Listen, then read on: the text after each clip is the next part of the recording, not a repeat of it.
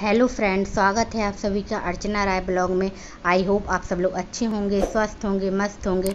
और आज मैं आपके साथ एक ऐसी बिरयानी की रेसिपी लेकर आई हूँ, जिसमें हमें बहुत ही कम सामान की ज़रूरत पड़ेगी और बहुत ही टेस्टी बनेगी, बिल्कुल मार्केट स्टाइल में।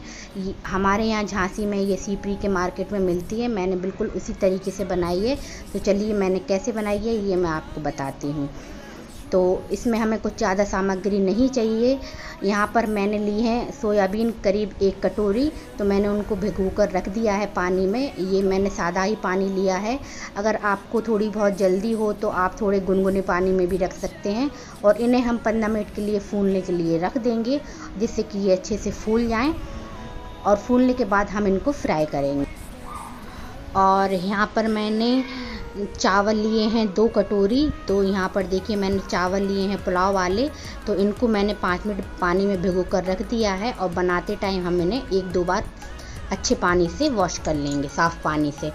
तो यहाँ पर देखिए करीब पंद्रह मिनट हो गए थे, सोयाबीन अच्छे से फूल गई हैं तो आज हम बिरयानी कुकर में बना रहे हैं तो कुकर में मैंने आधा चम्मच तेल डाला था, उसी में हम इनको फ्राई करेंगे और इनको हमें जब तक मीडियम फ्लेम पर पकाना है, जब तक कि इनका कलर अच्छे से गोल्डन ब्राउन ना हो जाए। और इनको तेज़ आँच पर बिल्कुल नहीं पकाना है, नहीं तो ये ऊपर से जल जाएँगी और अंदर से पकेंगी भी नहीं। तो बस हमें इन्हें मीडियम फ्लेम पर ही गोल्डन ब्राउन होने तक अच्छे से इनको फ्राई करना है। तो सोयाबीन जैसे ही हमारी फ्राई फ्राई हो जाएँगी और यहाँ पर देखिए ये फ्राई हो गई हैं। अब हम इनको निकाल लेंगे और इसी कुकर में हम बिरयानी बनाएँगे। तो चलिए हम इसे एक बर्तन में निकाल लेते हैं।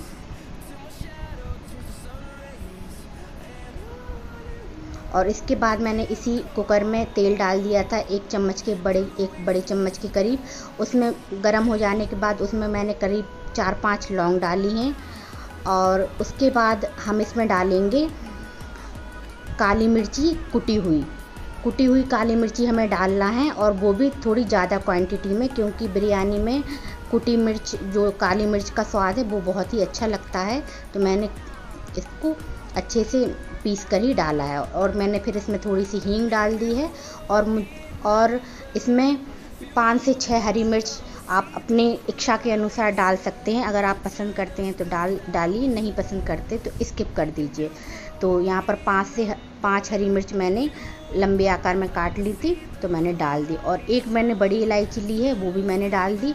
अब इन सब मसालों को हम अच्छे से थोड़ा सा ही पकाएँगे और फिर मैंने देखिए यहाँ पर सोयाबीन की बड़ी जो हमने फ्राई की थी, उनको डाल दिया है और चावल को अच्छे से हमने वॉश करने के बाद यहाँ पर चावल भी डाल दिए हैं। और ये बिरयानी बहुत ही जल्दी बन जाती है।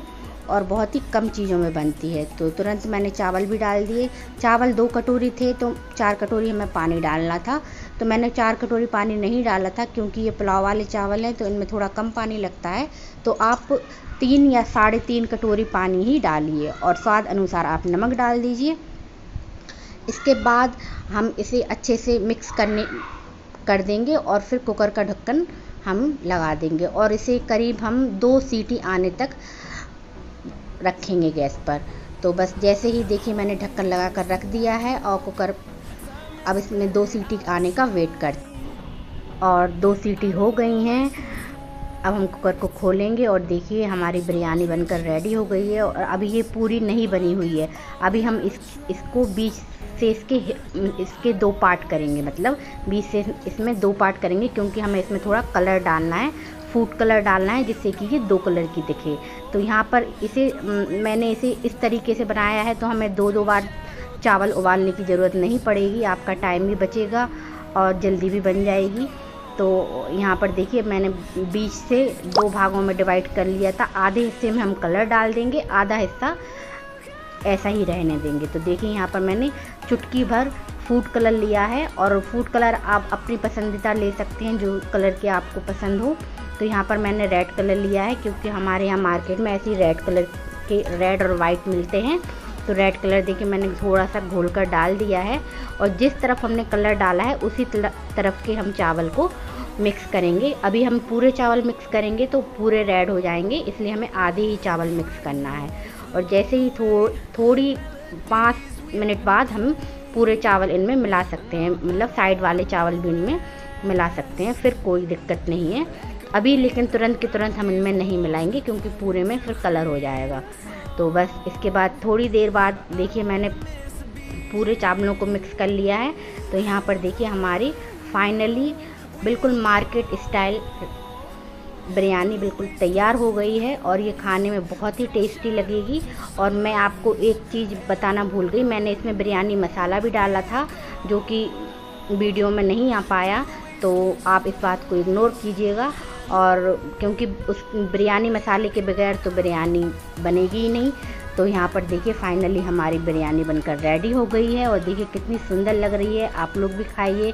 अगर आपको वीडियो अच्छी लगी हो तो प्लीज़ एक लाइक कर देना। चैनल पर नए हो तो प्लीज़ सब्सक्राइब कर देना। Thank you thank you for watching